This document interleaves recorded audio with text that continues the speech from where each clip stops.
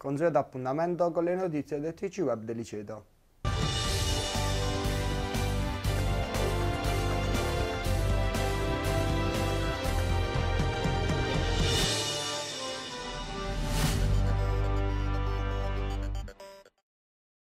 Secolare festività in onore di Sant'Antonio da Padova, martedì 13, presso l'omonima chiesa a lui dedicata, con funzioni religiose e partecipata processione per le vie del paese. Dopo l'inaugurazione del campo comunale Giuseppe Scarano, con la presenza di rappresentanti del Foggia Calcio, vi è stata nella serata di martedì 13 l'inaugurazione di uno dei campetti per calcetto in sintetico del centro sportivo Bipede Euro di Domenico Botticella, con la presenza del capitano del Foggia Calcio Cristian Agnelli. Il comune di Deliceto annovera un patrimonio boschivo di circa 360 ettari, con una vegetazione di querce, roverelle e macchia mediterranea in genere, occupanti le parti collinari più alte del territorio, con panorami suggestivi.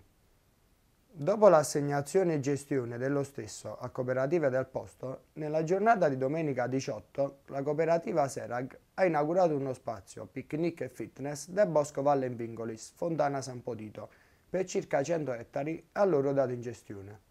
Vediamo il servizio. Eh, si tratta di, un, di, uno spazio con dei giochini, di un palco gioco per i bambini da 7 a 12 anni e un percorso fitness per gli adulti che parte da vicino alla masseria di Castellino che sale alla pila di San Petito. Il bosco che in questione si chiama Vallinvingolis, non lo devo dire a voi che lo conoscete bene e si trova in Agro di Deliceto. Quest'area qua è stata sottoposta a tre interventi eh, in campo forestale. Il bosco si, si, si sviluppa su un'estensione di circa 100 ettari e riguarda praticamente un intervento di miglioramento forestale, un altro di sistemazione idraulica e un altro ancora che riguarda appunto la realizzazione di interventi da un punto di vista turistico-ricreativo. Il progetto che praticamente è partito circa tre anni fa, oggi vede la sua conclusione con la realizzazione di quest'area. La cosa interessante è quello che succederà dopo, perché adesso praticamente diventa importante in, interpretare anche la sostenibilità del, dell'iniziativa. Questo bosco praticamente diventerà un bosco didattico dove sarà possibile eventualmente effettuare attività laboratoriali nel campo dell'educazione ambientale. Quindi verrà interessato questo bosco qua di attività di educazione ambientale. Lei è ottimista? Cioè voglio dire, questi mm, lavori effettuati si spera che comunque possano restare integri anche nel tempo? Bah, il, questo è uno dei problemi che abbiamo su tutte le aree dove sono stati realizzati questi interventi. Chiaramente la presenza dell'uomo, il fatto che comunque queste aree vengono frequentate dai visitatori è alla garanzia e alla base diciamo, della, della, della durata degli interventi. E sì, chiaro, noi immaginiamo questo un futuro dove effettivamente queste aree qua possono essere frequentate da tanti visitatori e per questo c'è la necessità di attivare nuove iniziative perché altrimenti col tempo la sostenibilità viene meno. Recupero del casone comunale che è qui vicino sarebbe ancora un lavoro a completamento di questa iniziativa? Ma i lavori da fare in quest'area qua sono tante, le iniziative che se ne possono fare altrettanto tante. Chiaramente il casone diventa un punto centrale se vogliamo utilizzare quest'area da un punto di vista appunto didattico. Il bosco didattico prevede la realizzazione di un'aula didattica e quindi il casone è fondamentale. Quindi noi dobbiamo assolutamente recuperare il casone per rilanciare questa attività. A questo punto bisogna migliorare semplicemente un po' la, il percorso, la viabilità e anche la pubblicità per pubblicizzare questo luogo. Beh, insomma, eh, la viabilità è fondamentale quando la comunicazione.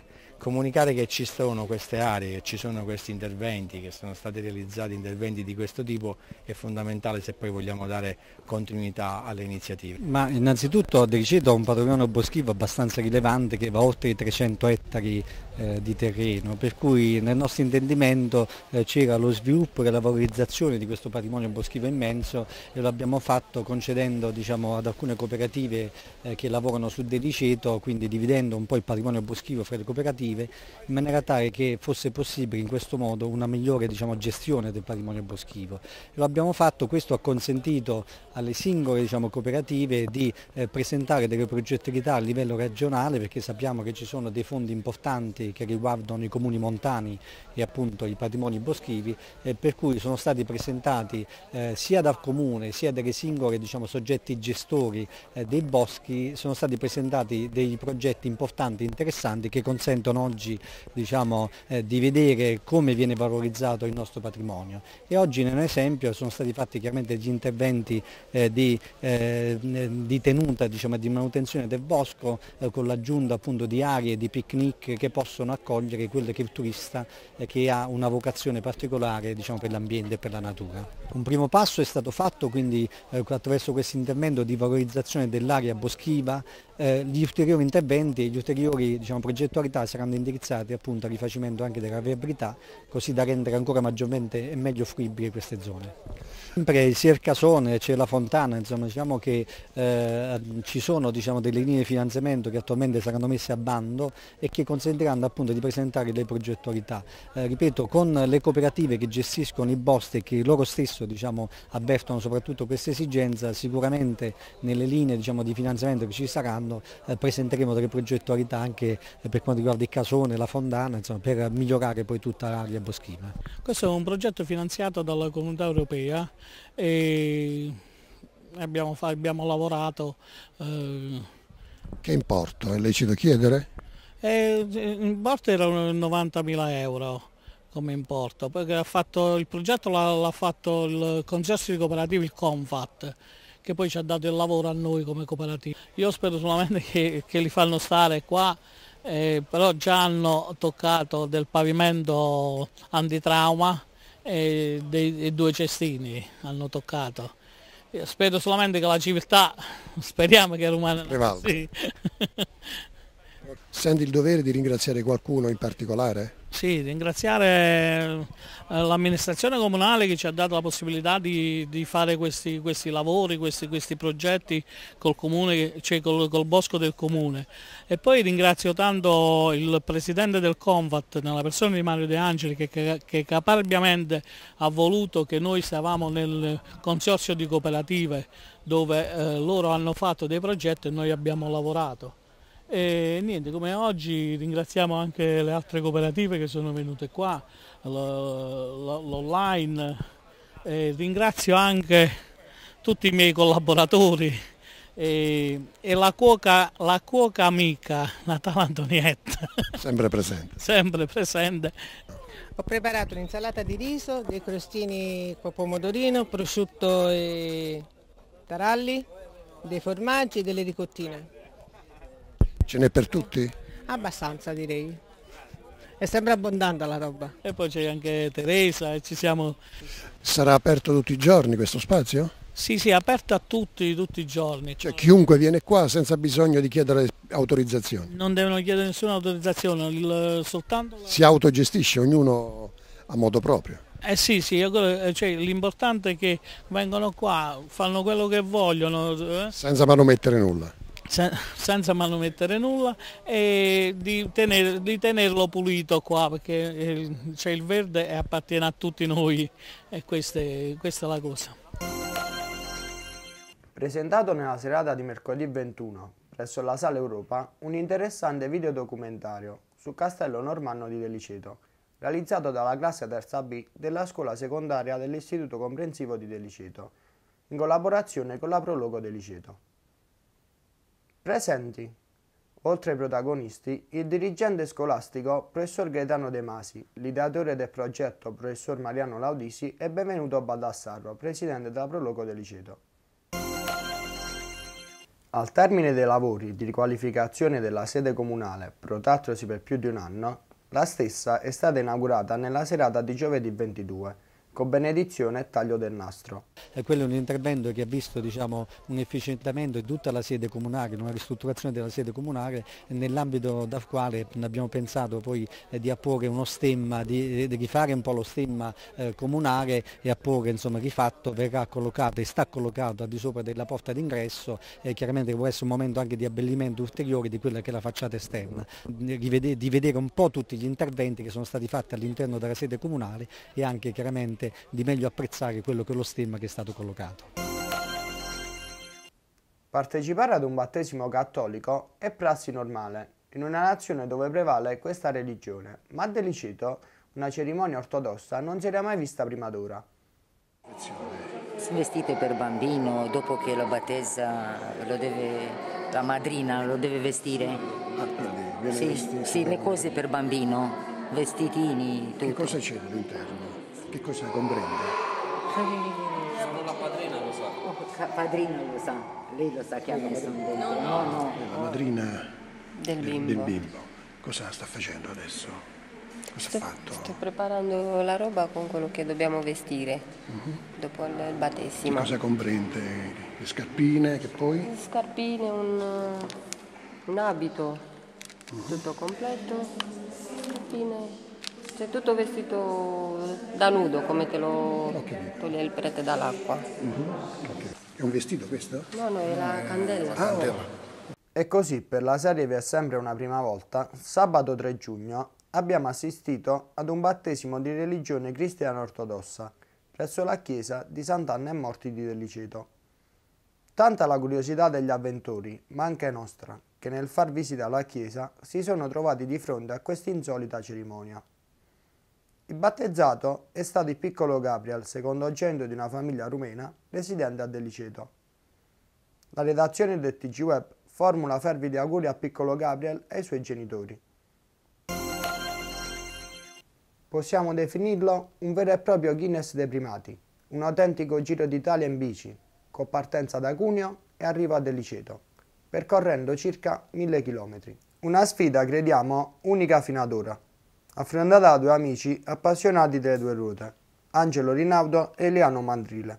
Eh sì, dopo 1000, penso 250 km all'incirca ce l'abbiamo fatta e 8 giorni di pedalata. Da dove siete partiti? Da, da Villar San Costanzo, eh, Cuneo, Piemonte, abbiamo fatto una linea più o meno in centro Italia, toccando molte molte regioni eh, dobbiamo poi tirare giù il conto di tutti, però l'abbiamo toccata quasi tutte, diciamo. Possiamo definire un Guinness dei primati? Non penso proprio di no, non è la prima volta che facciamo queste avventure qua, diciamo. Eh. Avete fatto altri percorsi? Abbiamo già fatto altri percorsi su, verso la Francia, collegamenti con un paese che siamo gemellati, diciamo, è una cosa che tutti gli anni cerchiamo di fare una uscita fuori zona. Siete partiti esattamente quando? Siamo partiti sabato mattina alle 6 di buon'ora per evitare il caldo perché faceva molto caldo al, dalle nostre parti in quei giorni, ora non è più così e abbiamo pedalato tutti i giorni quasi sempre fin verso sera con uh, tappe variabili sui 150-170 km fino a 180. È stata una piacevole passeggiata molto lunga con tanto dolore alle natiche, con eh, tanto dolore ai piedi e con la delizia, la gioia di essere arrivati finalmente e toglierci le scarpe. ecco, com'è stato il tempo? Cosa avete incontrato? Allora, siamo partiti con un caldo veramente affoso che ci preoccupava un po'. Il giorno dopo, a sorpresa, acqua sull'Appennino Ligure tra, tra l'Alessandrino e la Liguria penso 5-6 ore di acqua, non eh, violenta però sempre acqua. E poi caldo in eh, Toscana, molto caldo, e poi un po' di acqua tra diciamo, la Toscana e, e l'Abruzzo più o meno. Là. E poi l'Abruzzo fantastico perché è un tempo spettacolare, un paesaggio altrettanto spettacolare, tutte stradine secondarie. È più piacevole incontrare l'acqua in definitiva, anche se il sole è delizioso quando fa freddo, però con l'acqua si sopravvive, col sole sulle salite è veramente dura. Adesso ritornerete anche in bici a Cuneo? No, sicuramente no. tu immagino che sai il collegamento che c'è tra Villar e Deliceto, lo, lo sai qual è? No, no, non lo so. No, non lo sai, non lo sai. Allora mia moglie di Deliceto, e, boh, ci siamo conosciuti su, stata, ci siamo sposati e All'epoca hai, fatto, hai chiesto questo voto, cosa hai no, fatto? Non ho fatto il voto, ho detto sarebbe una bella cosa, l'ho lanciata lì. E lei eh, poi abbiamo visto che diciamo, il periodo poteva andare bene, abbiamo lanciato l'idea, abbiamo organizzato le tappe e, e voilà, si è fatta. Paolo, l'ultima tappa da dove siete partiti? Da Civitanova sul Sannio, e lì è nel Molise, nel Molise, nella provincia di Gernia mi pare. E poi siamo venuti qua a Campobasso, poi da Campobasso abbiamo fatto quel pezzo di strada che collega Foggia, però evitando la galleria siamo saliti a Ri, Bicca di. Ma ve le siete cercate le salite a questo punto? Ma eh, per evitare diciamo quei Il traffico? È il traffico? Il traffico l'abbiamo quasi sempre evitato, l'abbiamo quasi sempre evitato, a parte quei, eh, quei punti di svincolo delle città tipo Siena, tipo Rieti, dove Avete incontrato particolari difficoltà anche col traffico in questo percorso? il traffico no, direi di no, non abbiamo avuto grosse difficoltà nel traffico, no, no, no, per quello eh, Episodi particolari verificatisi durante il percorso? Non vi è capitato nulla? di particolare tranne un inconveniente alla bicicletta alla prima tappa si è risolto con eh, facilità perché abbiamo capito che era la borsa che ci impediva, interferiva nel cambio, ha risolto quel problema e il resto ha funzionato tutto bene.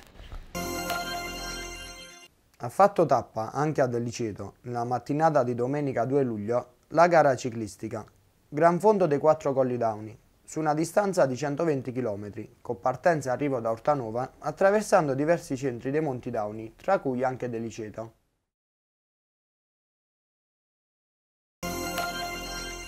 Il Comitato Proloco e la redazione del TG Web del Liceto esprimono tanta solidarietà alla vicina comunità Santa Catese per il grave atto incendiario verificatosi giovedì 29 giugno, che ha distrutto il grande patrimonio naturalistico del Monte Croce, oltre che lambire le abitazioni del centro abitato, condannando con forza il grave atto delittuoso. È tutto con le notizie del mese di luglio. Arrivederci alla prossima edizione.